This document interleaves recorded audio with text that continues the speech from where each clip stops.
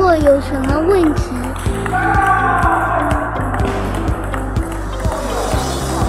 看完这位小朋友的视频呢，我是觉得他的节奏感还是比较好的，能主动的脚下去找球。呃，但是有一个问题就是他在击球过程中呢，没有重心转换，然后没有转腰。我们正常在击球的过程中，在跑动的时候，在移动的时候，那我们要完成自己的重心转换，呃，到位置之后就再击球。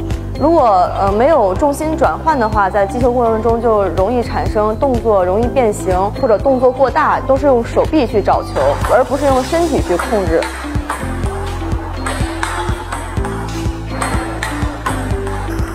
评论区里的教练们，你们觉得呢？